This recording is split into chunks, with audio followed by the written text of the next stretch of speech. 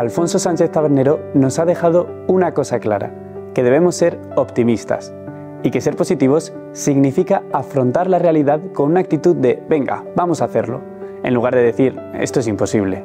Esta promoción es especial para mí porque desde el primer día eh, yo vi una promoción muy variada, pero había un punto en común y es que era gente alegre, divertida, optimista, esperanzada y claro, todo eso coincide con mi modo de ser, con mi psicología y por tanto hubo, creo, desde el principio una gran conexión y creo que por eso a mí me gustó tanto que me eligieran padrino.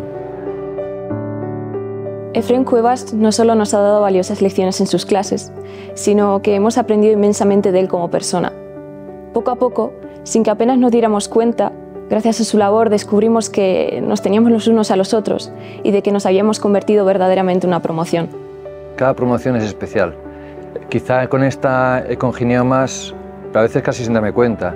Y es verdad que en documental en tercero de carrera hacemos mucha piña con los proyectos que se van realizando y con aquel proyecto que nunca llegó a ser elegido sobre el kebab, pues también hicimos bastantes bromas y bastante piña.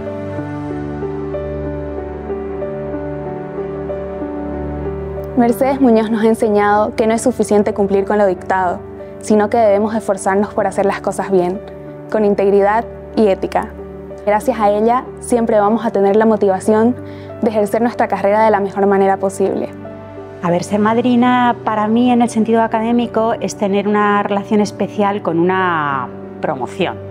Por un lado, agradecimiento por mi parte, porque es algo que ellos te otorgan a ti. En relación con ese agradecimiento, pues luego una dedicación a ellos especial, un cariño especial. No es fácil dejar que se vayan los alumnos porque se ha creado un vínculo con ellos, hay una amistad, hay una relación. Precisamente cuando ya más les conoces, que es en cuarto, cuando más piña haces con ellos, cuando ya empiezas a tener complicidades, eh, amistades, en cierto modo. Y entonces te da una cierta pena que cuando empiezas a ver esos frutos es cuando ellos se marchan. Al final es más fuerte la alegría que la pena porque sabemos que siempre pueden volver y por tanto nunca hay un adiós completo, es más bien un hasta luego.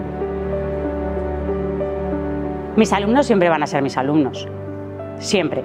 Yo por ello les incido mucho en que me escriban, me cuenten, me digan por dónde andan, tanto si les va bien como si les va regular como si les va mal. Y es bueno que no pierdan la ilusión la ilusión por cambiar este mundo, para hacer este mundo mejor, que en realidad es lo que les hemos transmitido quizá en estos cuatro años. ¿no? Ahijados y ahijadas, buena suerte, tranquilos, tranquilas, estáis muy bien preparados y aquí estamos para lo que necesitéis.